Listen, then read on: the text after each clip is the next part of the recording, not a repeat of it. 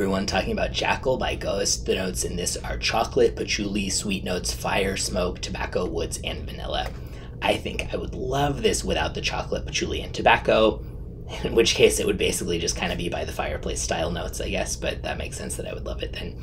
To my nose, it's like someone took a really like attractive, tantalizing scent and then added like some cat litter to it or something. Um, but that solely comes down to my taste. I really just can't stand this type of like dirty patchouli tobacco.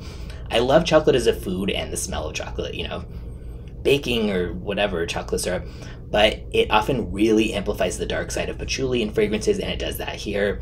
If you love dark patchouli tobacco scents, though, I definitely would check this out. It's just not my personal taste, and I find these type of scents disgusting. Just not any shade to the, this fragrance house's perfumer and stuff like that because it's high quality. It's just about the notes not being my thing.